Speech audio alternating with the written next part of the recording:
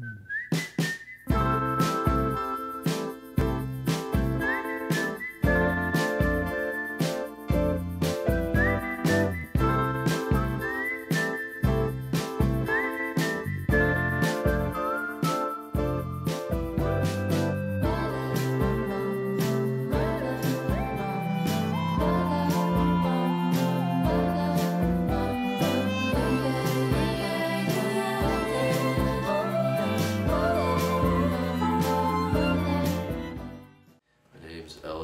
Frazier, and I'm 30.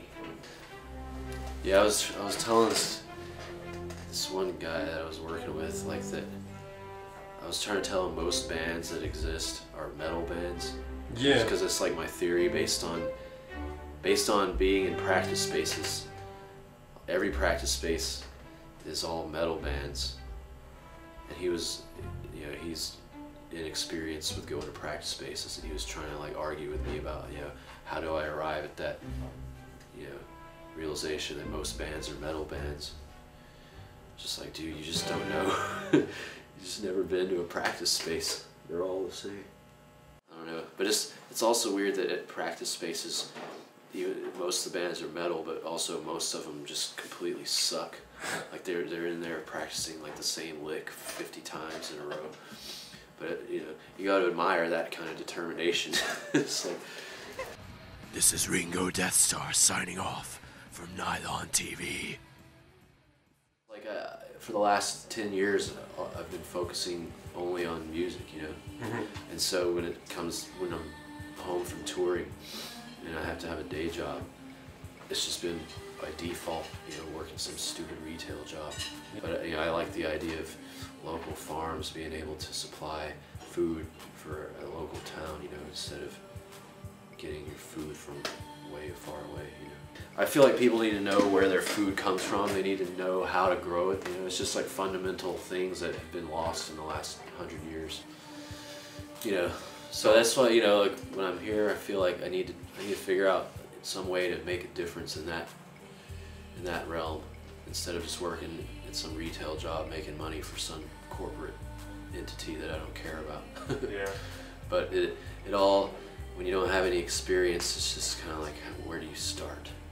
So i might start volunteering at johnson's backyard garden or something. They pay you in vegetables at the end of the workday or whatever. You just have to like show up in the morning at the crack of dawn and then be willing to work hard you know?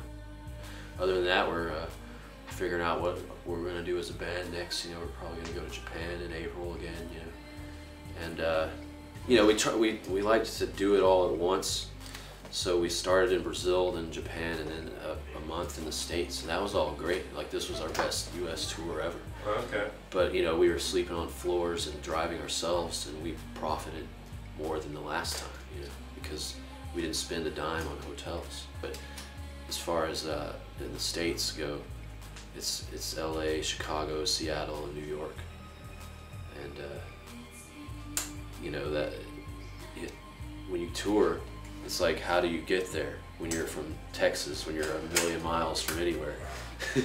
so it's like you have to you have to play every day Yeah. and in order to do that you have to play far enough or you know, cities close enough in between so you're going to play a lot of shows that there's like 15 people there uh, i don't know i mean pe- people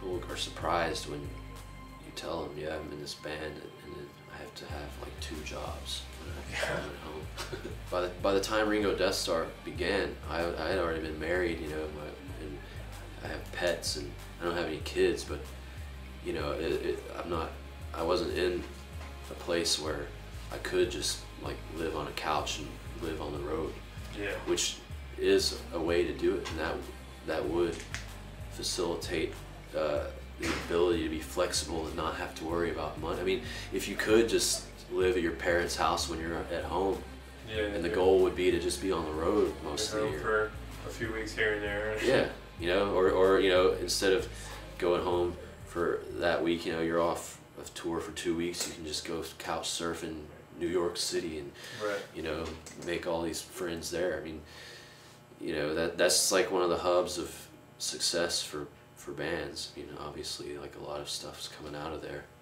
and it was actually a lot easier to get a following in New York than we thought it would be. Like our first show there, you know, there was people there.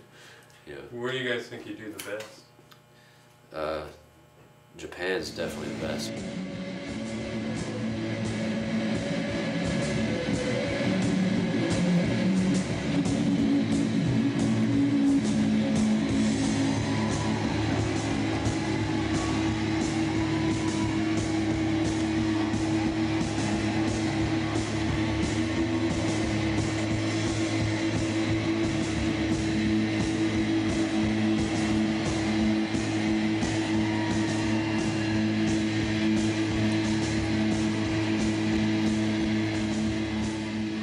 Our band hasn't ever really stood for any cause or anything, but maybe it's time to be like, you know, have a strong anti-corporate stance for something. I mean, I don't know. maybe maybe that's maybe this is our chance to to really get people to realize what's actually going on because like to to people that aren't in bands, they don't have a clue. You know, they just think that bands make money from touring and that they should just shut up about digital Right. downloads happening. Like you got to regroup and figure out how to, to make a living being a musician without being because now it's like the only way independent musicians can make any substantial amount of money is to be like having songs in movies or commercials. Would you say no to that if someone asked? Uh, I mean, I've been trying to do it uh, and and having no success. So at this point, maybe maybe I would say no. I mean, it's uh, it's just making me think really hard about like what am I actually doing this for?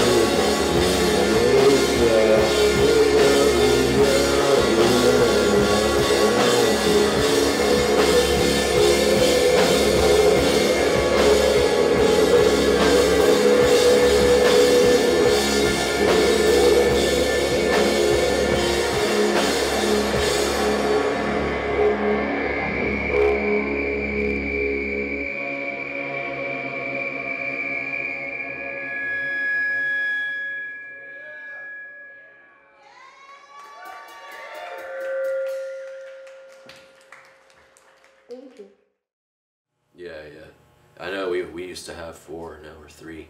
it was just because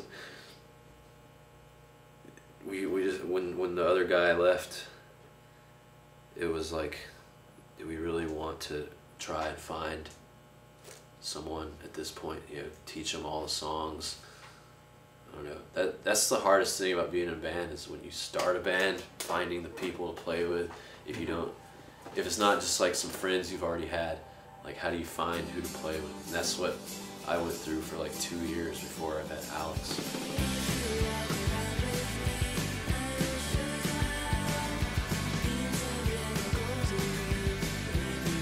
Yeah, most of the time in Ringo Deathstarr, there has been at least one person that I've known from my hometown because a bunch of people moved here, you know. Mhm. And so it was easy, you know. At, at first, it was the three of us. It was me these other two dudes that moved here, and uh, they quit. And then this other chick that moved here, she was the drummer. And then, and then at that point, I started getting people from other bands, and then she quit, and then, or and then, or I kicked her out or something. I can't remember.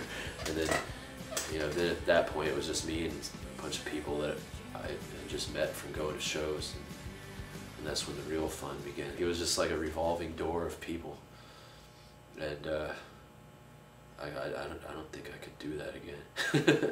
So is it? Do you feel like it's just like your thing, or is it now? Not anymore. I mean, Sort of feels it like- was, but uh, you know, since since we've been, me and Alex and Daniel have been together. Daniel joined in 2008.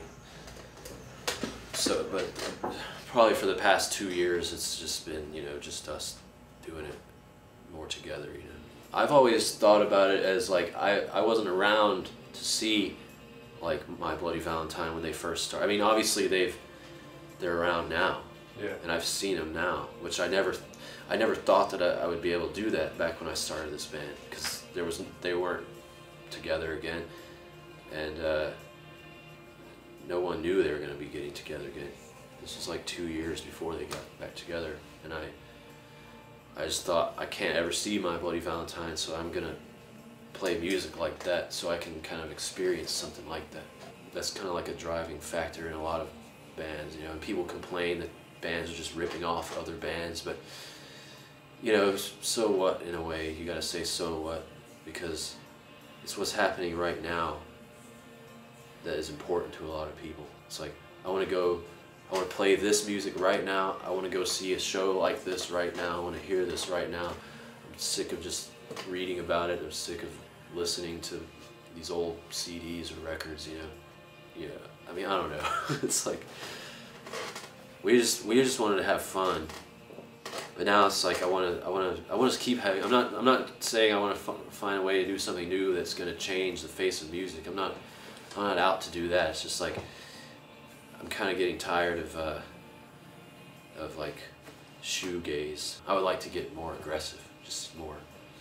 But I'm I need to get over my shyness. That's why I, that's why I like doing my Bloody Valentine's type stuff and Jesus and Mary Chain type stuff was easy and felt natural for me because I can't, I'm not a very good singer.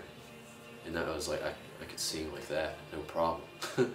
I can't sing like Fugazi, which, you know, I, I always loved Fugazi.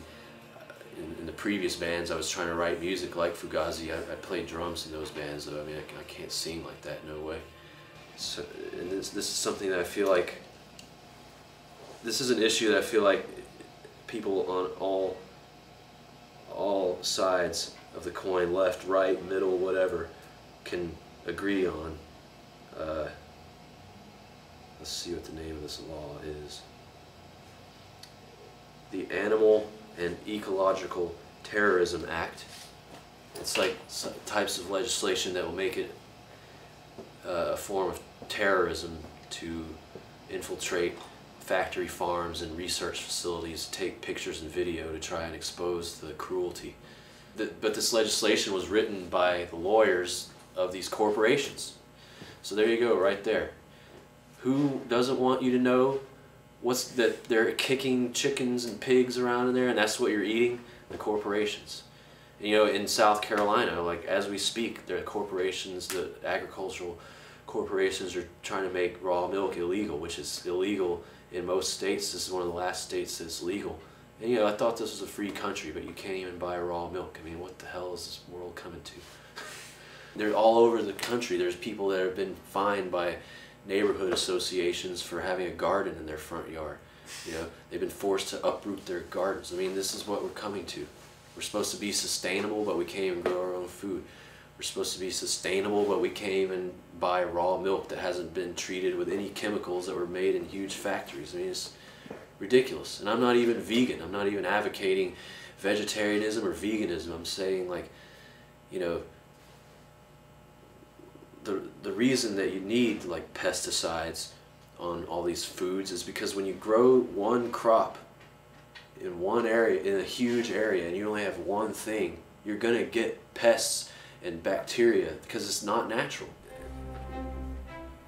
Got got to uh, somehow raise awareness on that, you know, without trying to. I don't want to be a political bit because to me this stuff isn't politics. It's corporations telling you what you can and can't do. I feel like I've gone off in a big non-musical tangent, but to get back to what we're doing as a band right now.